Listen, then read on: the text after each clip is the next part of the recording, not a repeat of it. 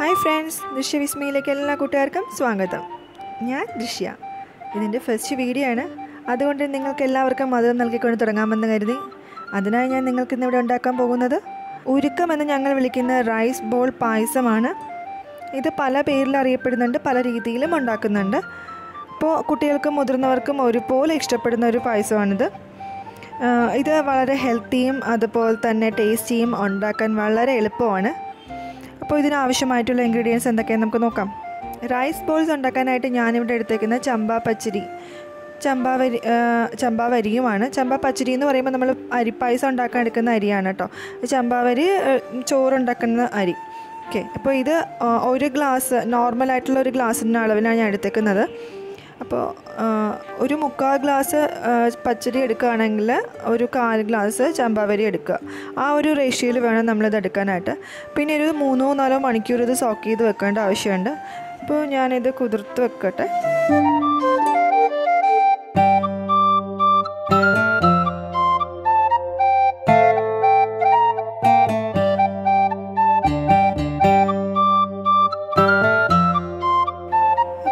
ഞാനിപ്പോൾ ഇത് നല്ലോണം കുതിർത്ത് വെച്ചിട്ടുണ്ട്. മൂന്ന് മണിക്കൂറിന് ശേഷം ഞാനിത് അരച്ച് പേസ്റ്റ് ആക്കിയിട്ടുണ്ട്. നമ്മൾ അരയ്ക്കുന്ന സമയത്ത് പ്രത്യേകം ശ്രദ്ധിക്കാം വെള്ളം അധികം കൂടിപ്പോവാണ്ട് ശ്രദ്ധിക്കുക. കഴിയുമെങ്കിൽ വെള്ളം ചേർക്കാണ്ട് തന്നെ അരച്ചെടുക്കാൻ നോക്കുക.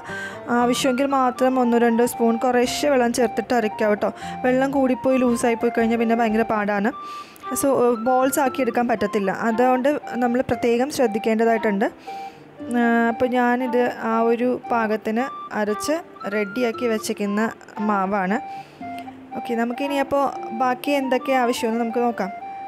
അപ്പോൾ ഇവിടെ ഞാൻ ഒരു ഗ്ലാസ് അരിക്ക് ഒരു അരമുറി തേങ്ങയുടെ പാൽ ഒന്നാം പാലാണ് എടുത്തേക്കുന്നത്. ആ പാലെടുത്തതിന് ശേഷം ബാക്കി വന്നിട്ടുള്ള പീരയാണിത്. തേങ്ങാക്കൊത്ത്. അത് ഞാൻ എടുത്ത് വെച്ചിട്ടുണ്ട്. ഒരു നാല് സ്പൂൺ എടുത്ത് വെച്ചിട്ടുണ്ട്. ഓക്കെ.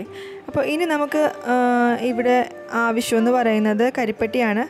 ഒരു വലിയ കരിപ്പട്ടിയുടെ ഒരു കാൽഭാഗമാണ്. ഇത് നോർമൽ മധുരത്തിലാണ് കേട്ടോ. മധുരം കൂടുതൽ വേണമെങ്കിൽ കൂടുതലെടുക്കാം ഓക്കെ ഇനി നമുക്ക് ആവശ്യം ഇതിൽ മെയിനായിട്ടുള്ള ഒരു സംഭവമാണ്. ഇത് ചുക്കാണ്. ചുക്ക് ഇതുപോലൊരു പീസും പിന്നെ പൗഡറാക്കി വെച്ചിട്ടുള്ളതുമാണ് എടുത്തു വെച്ചിരിക്കുന്നത്. ഓക്കെ അപ്പോൾ ഇനി അടുത്ത നെക്സ്റ്റ് പ്രോസസ്സ് എന്താണെന്ന് വെച്ചാൽ നമുക്ക് ഈ കരിപ്പട്ടി ഒന്ന് ഉരുക്കിയെടുക്കണം. ആ കരിപ്പട്ടിയിൽ ചിലപ്പോൾ വേസ്റ്റൊക്കെ ഉണ്ടാവും. അത് ഉരുക്കിയെടുത്താൽ മാത്രമേ നമുക്ക് വേർതിരിച്ചെടുക്കാൻ പറ്റത്തുള്ളൂ. സോ ഞാനിവിടെ ഉരുക്കി വെക്കാൻ പോവാണ്. അതുപോലെ തന്നെ നമ്മുടെ കരിപ്പട്ടി എന്ന് പറയുമ്പോഴത്തേക്കും ഒരുപാട് അയൺ അടങ്ങിയിട്ടുള്ള ഒരു സംഭവമാണ്. കുട്ടികൾക്കൊക്കെ വളരെ നല്ലതാണ്. അപ്പോൾ വെറുതെ കഴിക്കാൻ കൊടുത്താലോ? അല്ലെങ്കിൽ വേറെ എന്തെങ്കിലും ചിലപ്പോൾ പിള്ളേർക്ക് ഇഷ്ടപ്പെട്ടെന്ന് വരത്തില്ല. സോ ഇങ്ങനെ ഇങ്ങനെയൊക്കെ നമ്മളിത് ചേർത്തുണ്ടാക്കി കൊടുത്തു കഴിഞ്ഞാൽ അവർക്ക് കഴിക്കുകയും ചെയ്യും. ഓക്കെ അപ്പോൾ ഞാനിതിവിടെ മെൽറ്റ് ചെയ്തെടുക്കുകയാണ്. ഒരു ഗ്ലാസ് വെള്ളത്തിലാണ് കേട്ടോ ഞാൻ മെൽറ്റ് ചെയ്തത്. ഇത് മെൽറ്റ് ചെയ്തതിന് ശേഷം നമുക്ക് ശ്രദ്ധിക്കുകയെന്ന് വെച്ചാൽ ചൂടോടുകൂടി തന്നെ അത് അന്ന് അരിച്ചെടുക്കാൻ നോക്കുക. തണുത്ത് പോയി കഴിഞ്ഞാൽ കട്ട് ചെയ്യാം. പിന്നെ അത് ബുദ്ധിമുട്ടാണ് എടുക്കാനായിട്ട്. സോ ഇപ്പോൾ നല്ലോണം അരിച്ചെടുത്തതിന് ശേഷം നമുക്കത് മാറ്റി വെക്കാം.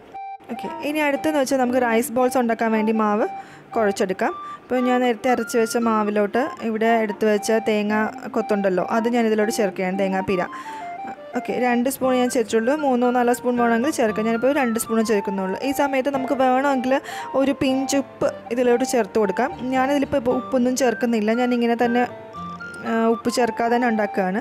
പക്ഷേ നമുക്ക് റൈസ് ബോൾസ് ഉണ്ടാക്കി വയ്ക്കാം വളരെ ചെറുതായിട്ട് ഒരു ചെറിയൊരു നെല്ലിക്കയുടെ വലിപ്പത്തിൽ വേണം ഉണ്ടാക്കാൻ. മാക്സിമം ചെറുതായിട്ട് തന്നെ ഉണ്ടാക്കുക. ഓക്കെ വലുതായി പോവാതിരിക്കാൻ പ്രത്യേകം നമ്മൾ ശ്രദ്ധിക്കണം. കുട്ടികളുണ്ടെങ്കിൽ അവരെ കൂടെ വിളിച്ചു കഴിഞ്ഞാൽ അവർക്ക് ഭയങ്കര സന്തോഷവും ചെറുപ്പത്തിൽ ഞങ്ങൾ ഇങ്ങനെ ഉണ്ടാക്കുന്ന സമയത്ത് ഞങ്ങൾ പോയിരുന്ന് ഉണ്ടാക്കാറുണ്ട്. കുട്ടികൾക്ക് വളരെ ഹാപ്പി ആയിരിക്കും ലോക്ക്ഡൗൺ ഒക്കെ എല്ലാം ഉണ്ടാവും ഈ ഒരു പാകത്തിന് വേണം നമ്മളിത് ഉണ്ടാക്കിയെടുക്കാനായിട്ട്. ഞാനിവിടെ അടികട്ടിയുള്ള ഒരു പാത്രം എടുത്ത് അടുപ്പത്ത് വെച്ചിട്ടുണ്ട്. ചവ് കത്തിച്ച് അതിലേക്ക് മൂന്ന് ഗ്ലാസ് വെള്ളം അളന്ന് വെച്ചിട്ടുണ്ടായിരുന്നു. അത് നമുക്കിതിലേക്ക് ഒഴിക്കാം. ഓക്കെ. ഇനി നമുക്ക് വേണ്ടതെന്ന് വെച്ചാൽ നമ്മൾ നേരത്തെ എടുത്ത ചുക്കുണ്ടല്ലോ അതൊന്ന് ചതച്ചെടുക്കുക. ചതച്ചെടുത്തതിന് ശേഷം നമുക്ക് ഈ വെള്ളത്തിലിട്ട് ഒന്ന് തിളയ്ക്കുന്നത് വരെ വെയിറ്റ് ചെയ്യാം. അപ്പോൾ ഈ ചുക്കിന്റെ ഫ്ലേവറാണ് ഇതിൽ മുന്നിട്ട് നിൽക്കേണ്ടത്. അപ്പോൾ അതുകൊണ്ടാണ് നമ്മളിങ്ങനെ ഈ ചുക്ക് ചതച്ചിട്ട് തന്നെ ചത ഈവൻ ചതച്ചില്ല പൊടിച്ചിട്ടാണെങ്കിലും കുഴപ്പമില്ല കേട്ടോ ഞാനിപ്പോൾ ഇവിടെ ചതച്ചിട്ടെന്നേ ഉള്ളൂ. അപ്പോൾ ജസ്റ്റ് കണ്ടോ ഇതുപോലെ ഒന്ന് തിള വന്ന് കഴിയുമ്പോഴത്തേക്ക് നമുക്ക് റൈസ് ബോൾസ് ഇതിലേക്ക് ഇട്ട് കൊടുക്കാം. പിന്നെ റൈസ് ബോൾസ് ഇട്ട് കഴിഞ്ഞിട്ട് ഉടനെ തന്നെ നമ്മൾ ഇളക്കി കൊടുക്കരുത്. ചിലപ്പോൾ കലങ്ങി പോകാൻ സാധ്യത ഉണ്ട് അതുകൊണ്ട് തന്നെ ഒന്ന് ഒരു കുറച്ചൊന്ന് വെന്ത് വരുമ്പോഴത്തേക്കും ഒരു ഹാഫ് ബോയിൽ ഒക്കെ ആയി വന്നതിന് ശേഷം ഒന്ന് ഇളക്കി കൊടുത്താൽ മതി. അതുവരെ നമുക്ക് അടച്ച് വെച്ച് വേവിച്ചെടുക്കാം. ഓക്കെ ഇപ്പോൾ ഇതാ കണ്ടോ? ഇതുപോലെ തിളച്ച് വന്നതിന് ശേഷം നമുക്കൊന്ന് ഇളക്കിയെടുക്കാവുന്നതാണ്. അല്ലെങ്കിൽ ചിലപ്പോൾ ചിലതൊക്കെ അടിയിൽ പിടിച്ചിട്ടുണ്ടാവും. അതിനുള്ള സാധ്യത കൂടുതലാണ്.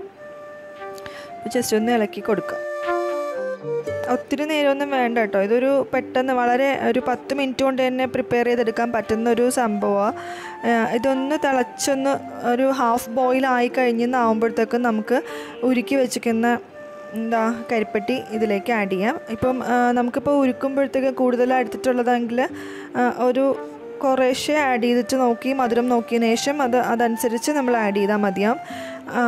കരിപ്പട്ടി ഇത് നല്ലോണം ഇളക്കി കൊടുക്കാൻ മറക്കരുത്. അടിയിൽ പിടിച്ച് പിടിക്കാനുള്ള സാധ്യത കൂടുതലാണ്. കരിപ്പെട്ടി ചേർത്തതിന് ശേഷം നല്ലോണം ഇളക്കിയതിന് ശേഷം നമുക്ക് ഒരു സ്പൂൺ ചുക്ക് പൊടി ഇതിലേക്ക് ചേർക്കാം. ഓക്കെ. അപ്പം ആ, അതിന് ശേഷം നമുക്ക് ഒരു മൂന്നാൽ മിനിറ്റ് വേവിച്ചെടുക്കാം. അപ്പോൾ ഒരെണ്ണം എടുത്ത് കട്ട് ചെയ്ത് നോക്കുമ്പോൾ വെന്തിട്ടുണ്ടോ എന്ന് അറിയാൻ പറ്റും. വെന്ത് കഴിഞ്ഞതിന് ശേഷം നമുക്കിതിലേക്ക് തേങ്ങാപ്പാൽ ചേർക്കാം. അപ്പോൾ ഇത് വെന്തിട്ടുണ്ട്. ഇപ്പം ഞാൻ തേങ്ങാപ്പാൽ ചേർക്കുകയാണ്. തേങ്ങാപ്പാൽ ചേർത്തതിന് ശേഷം നമുക്കിതിൽ വേറൊരു സംഭവം ചേർക്കാനുണ്ട്. അതായത് ഒരു രണ്ട് മൂന്ന് ബോൾസിന്റെ മാവ് നേരത്തെ ഞാൻ മാറ്റി വെച്ചിട്ടുണ്ടായിരുന്നു. അതൊന്ന് ഒരു ഒരു മൂന്നാൽ സ്പൂൺ വെള്ളത്തിൽ മിക്സ് ചെയ്തിട്ട് വെച്ചിട്ടുണ്ട്. അപ്പോൾ അത് ഞാൻ ഇതിലോട്ടൊന്ന് ചേർക്കുകയാണ്. കാരണം ഇത് നല്ല തിക്നെസ് ആവശ്യമായിട്ടുള്ള ഒരു പായസമാണ്. അത്രയും തിക്നെസ് നമുക്ക് കിട്ടണമെന്നുണ്ടെങ്കിൽ നമുക്ക് ഈ ഒരു